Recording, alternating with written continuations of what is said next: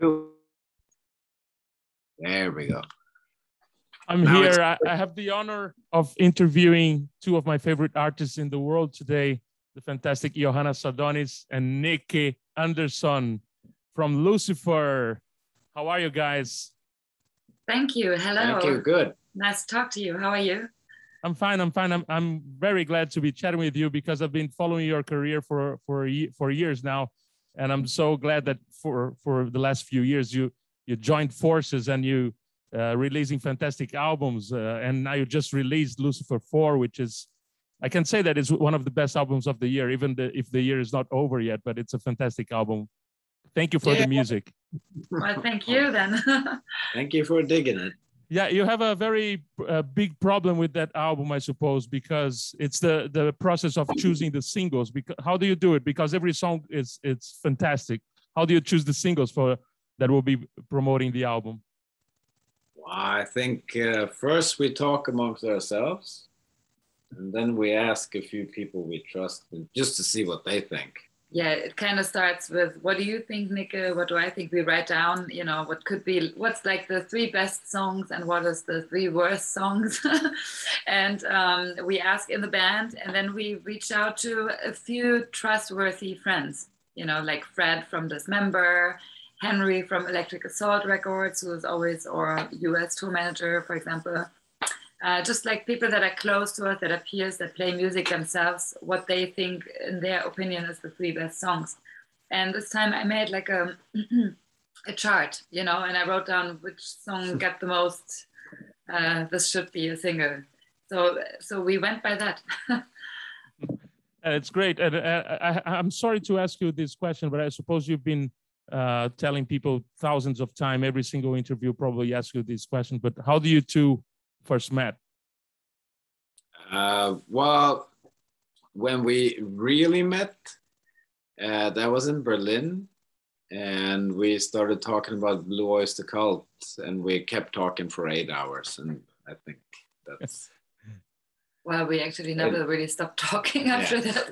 no, so that's the very condensed short version yeah. of it we met before casually, you know, but um, when the sparks were flying that night, that was in 2016 uh, in Berlin after an Imperial State Electric show. And do you remember when you uh, first had any contact with Nicke's music, uh, Johanna? And and I'll ask you the same question about uh, Johanna to Nick, if it was with The Oath or or for Johanna, was it with Hellacopters or how no, did you first hear of each other? It was entombed when I was a teenager because um, yeah, I, I, when I was 15, 16, I got really into black and death and doom metal. And of course, Entombed, you know, was was one of the bands that my friends and me would listen to as well, you know, because it's one of the classics. I, I discovered the oath in my 40s. but uh, well, uh, Entombed was uh, certainly a, a, very important band for that specific genre. But after that, you you you never had any prejudice against against any sort of music, I suppose, because you you did all many different kinds of music throughout your career, Nick. And uh, I'm, I'm prejudice too. well, I mean, we all do against some some kind of music, but not the good ones. But how how difficult was it for you? Because i'm i'm from the you know i started listening to music in the 80s uh, i'm always uh, uh, kind of the same age as you so we probably started same age. And when we started listening to music it was very uh, separated. You know you could only listen to death metal or thrash metal or even in metal it was kind of a of separated there was a separation. How was oh, it yeah. for you to try uh, to be able to to go from death metal to soul music with the solution. I, I, I love it. And how did you start listening to opening your mind to all different kinds of music? Uh, I think even when I was the the very most uh, in deep into death metal, I still listen to Ramones and Kiss. Uh, but I agree when it came to the metal part. I mean, there was even a time maybe not the, it was a pretty short period, but I thought people who who liked thrash metal were idiots because it was death metal or nothing. but then I also listened to like yeah, Kiss, Ramones, and Sex Pistols, and and other stuff that I grew up with. Uh, that didn't last so long, probably. I I think but it's also a little bit and it's the same thing with lucifer uh, although not as much we do have a frame uh, within you know where we work with it you know and, and even if it's a lot broader than say when death metal you know uh, it's still stuff we we wouldn't even talk about doing. There would never be a reggae part in the Lucifer song, but we don't even have to discuss that, you know. But I think we do cover a lot of different yeah. genres because there's so many different influences, and we have covered songs from a variety, like a broad spectrum.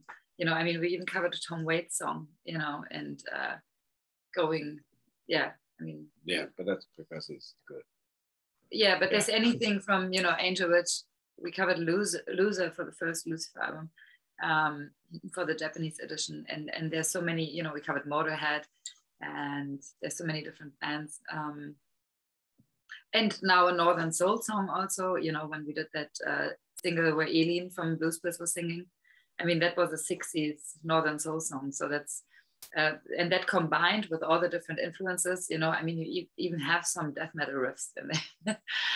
well, yeah, I mean, it's the same things. I mean, Black Sabbath is the one thing that connects that the most, yeah. I guess. But yeah. I, th- I think, uh, uh, you know, I mean, I'm, I'm a music fan and I lo- love music. So, of course, I'm looking for music that I really like and that happens to be i mean i like wilson pickett as much as i like autopsy it's the same thing for me and and johanna how easy is it for you to or or difficult sometimes is it for you to work with someone that is a great drummer guitar player bass player songwriter uh, designer for of, of artwork is it is it does it make it easier for you or or producer as well or or is it difficult sometimes to manage so many talents in, in just one guy.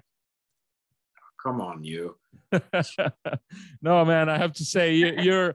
Everybody talks about Dave Grohl being, you know, drummer and now singer songwriter, but you you're even left-handed, man.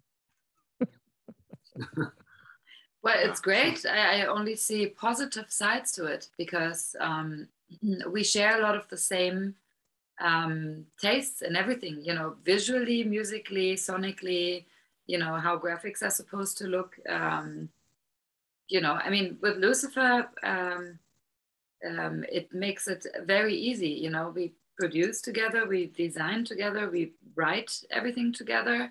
Um, so I'm, I feel very blessed that I, you know, get to do this with Nicke. It's awesome. Oh, and the same goes for me because we, like Johanna said, we do share a lot of the uh, same preferences with things. And so a lot of times we don't even have to discuss because it's obvious to us, you know, it's like, of course. And, and about the writing and, and production process of Lucifer 4, do you guys uh, are you guys that kind of those kind of artists that uh, have inspiration 4 a.m in the morning and need to rush to to start playing a, a song, or do you get in the studio and then you decide to start uh, writing songs? Do you have a discipline, or are you more uh, that can happen anytime? What kind of uh, writers are you or producers? I think I think for me it was more like he said, uh, like you said, that anytime. But now since you're older, I mean, we're both parents, and then you have to structure it a little bit. Well, the ideas always come. So yeah. when there's an idea at four in the morning, you know, I write it down. Like I have an idea for a lyric or for a melody. I re- voice record it on my phone, or um, you know, I make notes for lyrics and stuff. And then later on, you sit down. You know, when you have the time for it. Which is which is not often enough. Yeah, exactly. Because we are kind of plagued by, because we do everything ourselves, and we are such you know, like we have our vision so clear that uh, we are also kind of control freaks who do everything ourselves. I would say we are both Yeah. extreme control freaks. so you would have like a record company, oh, but we can do that. And then we go, nah, we do it yeah, ourselves. we do it ourselves. But the problem with that is that it plagues us as in not having enough time or as much time as we would like to have for the creative process because everything else takes up a lot of time too. yeah. So, uh, yeah, but you know, it's never. Um, I, I think for the writing process, to to answer your question, um, it's not like we meet in the studio and okay, now we write something No. together. It's always everybody works for themselves. Nicke works for himself. I work for myself. And now that Linus and Martin also contributed to the new album, they also work for themselves. So we never jam together. It's always like you know, I take something and do something and then give it back to him or the other way around, you know. We work in separate rooms, even, you know, sending each other music files. On, uh, via email. yeah. And did the pandemic uh, really affect your work, or or made it easier, at least for the uh, on the recording and produ- producing part of it? Like, uh, of course, the concerts and tours are uh, had to stop, but on on the writing process, uh, since you live together and and you have your own studio, Nick, did it affect it uh, heavily, or or in a way helped the creating process? I think the only thing that changed with the pandemic for us was that we had uh, more time, but it was pretty similar. I think it um, the time is luxury for us. So that was the silver lining of the pandemic, you know, that we it wasn't interrupted by touring and traveling because before the pandemic started, we were traveling a lot and not only for Lucifer, but for the Hellacopters and the other bands. Um, and uh, we probably wouldn't have put down an album as fast as we did now if we would have been, you know, with our regular touring schedule. So in that sense, um, it, it was um, good for Lucifer 4 that we had the time to also rehearse the songs before recording them because we didn't do that on uh, Lucifer 3. Uh, Not on two. not on 2 either. Yeah. You know, we just went straight to the studio to record. And a thing, the thing is that a song sometimes needs time to breathe and you have to kind of figure out maybe, you know, if, if you rehearse it a few times, um, and it starts to gel more within the band, then you also figure out, huh, maybe the original speed on the demo is too slow for the song. We have that with some songs that um, we recorded before for previous Lucifer albums that we haven't rehearsed as a band before. We just like recorded them straight away. Like Phoenix, for example, when we listen to this now, it's like, oh, this is way too slow. This should have been recorded faster. Because when we play it live, it's faster too. But you don't know that, you know. And, and now we have the luxury to you know rehearse the songs like i think we always took three songs at a time to rehearse them and then Yeah. we went to the studio to record And um, you, you're, I suppose you're in Berlin now, right? No. no, we're in sweden we live in in- stockholm You're in Stockholm. Uh, Mhm. That's fine. Uh, but I mean, you, you're from different countries, and and particularly about Sweden. I'm always curious to know why there are so many great bands from Sweden. Because you know, 40 years ago, I, I suppose there was only ABBA, and and now, I mean, at least my own my my favorite bands are from Sweden. You know, Hellacopters or or or uh, Horisont or or Graveyard. There's so many great bands. What is so special about the water that you drink there that creates so many bands? I don't know if you agree with me, Johanna. I know there are great bands in Germany. Kadavar, for example, is one that I recently saw live. But in Sweden, it- it's amazing. It's not a it's not a huge country, and and there's so many great heavy metal bands or hard rock bands. I mean, I have gotten that question a lot, but I think uh, one of the reasons is that somehow, uh, well, first of all, Sweden has been really good uh, for a long time to embrace American pop culture, uh, even going back to jazz music in, in the 50s. They were kind of early with that, I think. Uh, but also somehow the uh, infrastructure when it comes to to um, I, I just think it's easier to get a rehearsal place in Sweden than in Germany, for example. So it's small things like that. It's just i think it's a culture that feeds off itself. Um, me when i moved to sweden uh, three four years ago um, almost everybody that i know plays in a band and they play not only in one band they play in their friend's band as well and then they keep swapping. It's very incestuous it's, it's, it's incestuous totally. And I, but i think that maybe spawned some sort of um, not competitiveness because everybody's friends but it's kind of you know, oh, he's doing it, so he's doing it. It's like, I don't know. I think it gets passed on. Um, yeah, maybe somehow, and um, it seems like maybe it's it's easier for for kids to start playing here because of getting rehearsal I rooms. think it's a little and, bit like yeah, that. yeah. Uh, and uh, you, you have a, a, a, large, I see a large and beautiful record collection be, behind you is what is the range of of artists that are there? You, you i mean who are your who are your music heroes? Many. Yeah anything from madonna to autopsy. We have Everything anything. I mean there's you'll find you know punk soul um new wave of british heavy metal death metal doom i don't know like all kinds of the country you know but most of it is um, most of it has electric guitar. Yeah and most of it is classic. Like you won't find a modern death metal band in there. It's usually you know like a cool old school death metal band or cool 60s country or we don't have so much prog either no. No reggae no prog. Uh, no no genesis records and oh yes. No yes records no, no, I, I only have the first Rush album. Uh, oh, I have uh, three Rush albums. So we have prog. well, Rush doesn't Rush doesn't count. Rush is a. Oh, they, they, do count because people told me in the early '90s that oh, you play drums, you must love Rush. I don't know, I've never heard it. Uh, go buy Rush. So I went and bought uh, three Rush albums, and I yeah, one I liked a little bit better, but that didn't. That was the first one. That didn't. That wasn't so proggy. No, that one rocks. Yeah. That one is cool, and I also think Fly By Night. That was the second one, I think. That's, oh, that one I have too. That's pretty cool. Yeah. Uh, anyway, enough about Rush. so this is this is uh, both record collections put together. Yeah. Yes.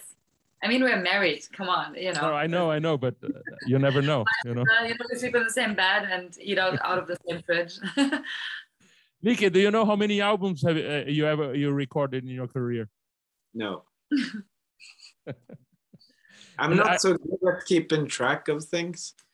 Uh, I mean, it's like in in the Hellacopters you have Robert, the drummer, who's really good at archiving stuff, and so are you and yeah. I've been never been good at that. So I don't even own all the albums I've been on because sometimes I forget and I give someone an album away and then I don't have it anymore. And yeah. I have I have to make a confession here, and I never seen a Hellacopter show, and I was really really excited last time you played in in São Paulo because I had tickets for for the show, and but it was right in the beginning of the pandemic. I think it was February 2020 and and I was kind of I didn't go.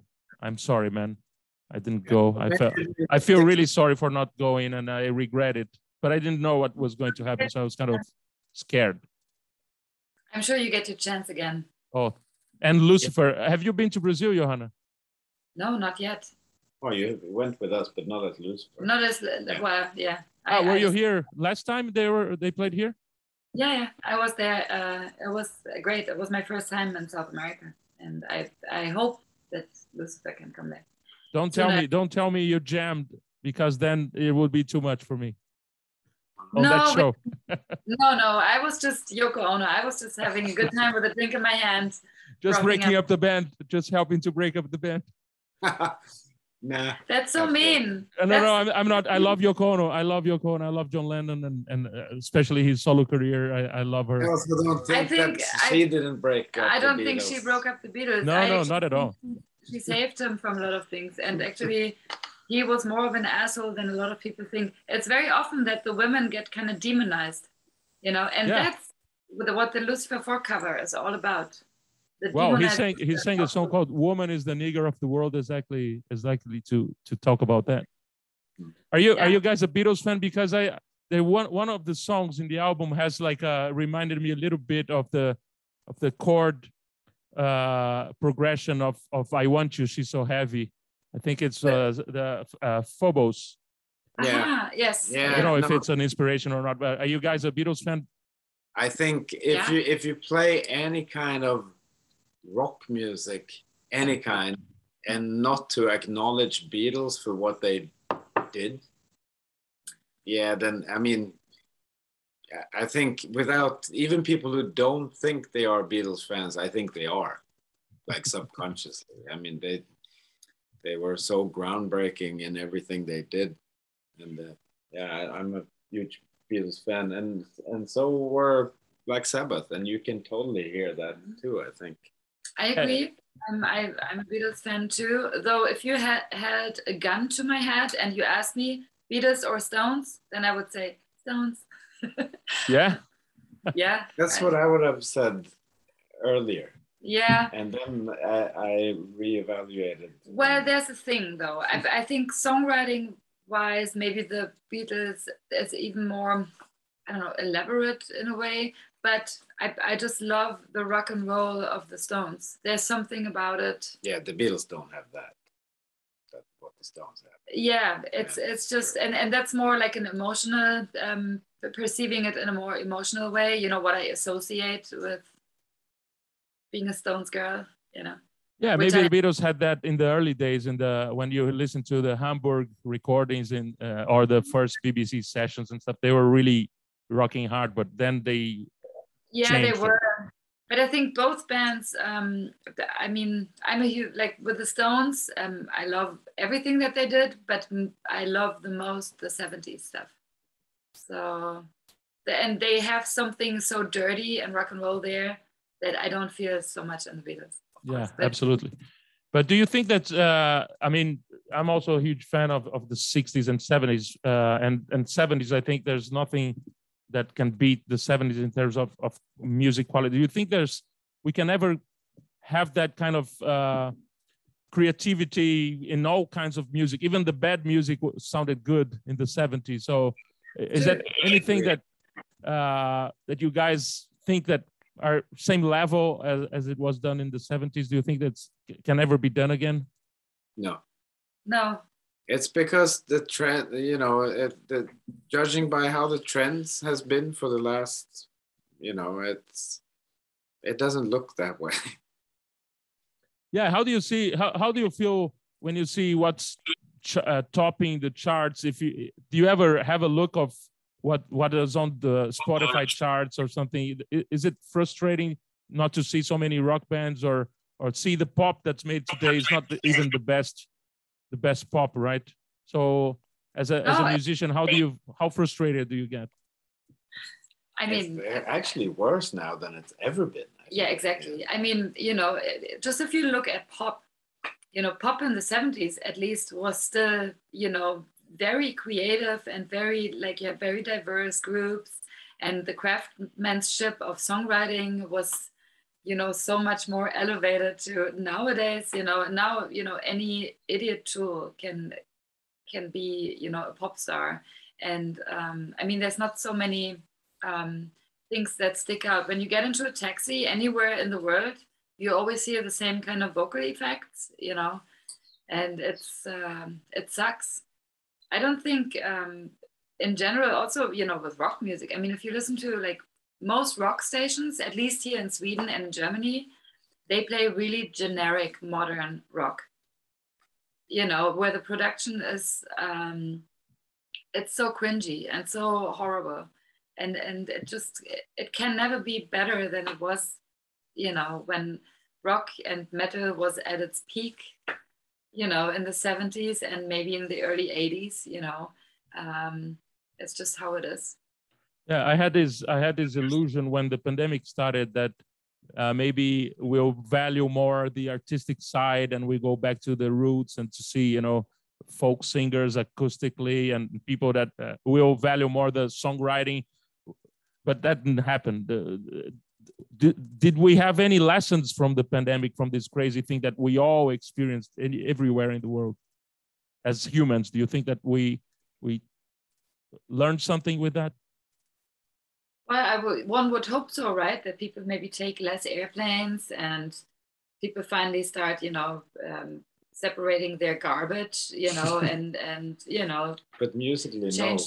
but musically, well, yeah, yeah. It, it feels like what what you said about the songwriting that um, the craft of writing good songs is is. Um, um, it used to be more of a um, of an honor thing, you know, um, back in the day that anybody, you know, was really good at their instruments and um, they put so much work into songwriting. Nowadays, you know, a lot of bands just live off having a good sound, but they don't necessarily have a good song because a good song you can always translate into an acoustic song. You know, you could take a, you know what I mean? If it's like a good, I don't know, um,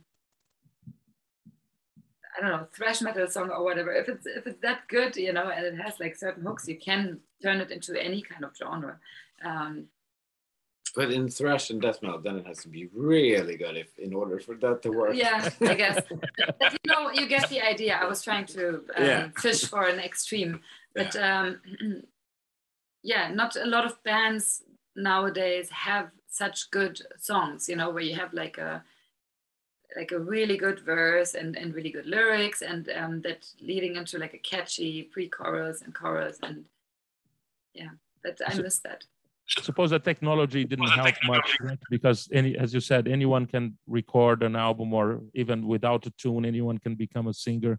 So you guys don't seem to be the the most technological kind of artists no no i don't know I, we, we do record onto a computer but I don't really, I don't really know how to use we, we don't, we, we don't, yeah, we don't, we don't hide it, hide it, you know, because, you know, because um, we don't, I don't think we need to mask it, mask it.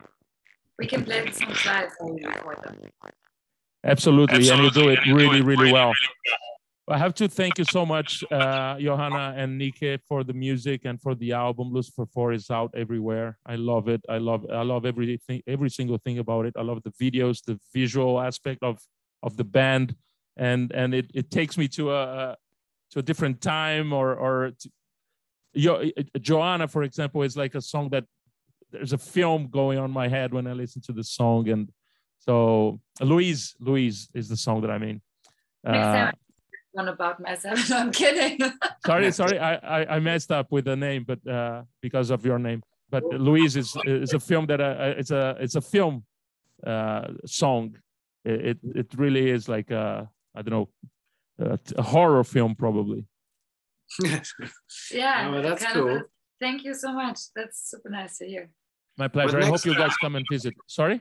And then next time you have to go to either of the shows. I will. I will. I don't care if there's a pandemic, if it's a world war or whatever. I won't miss it, especially if it's Lucifer. Yeah. No, thank you.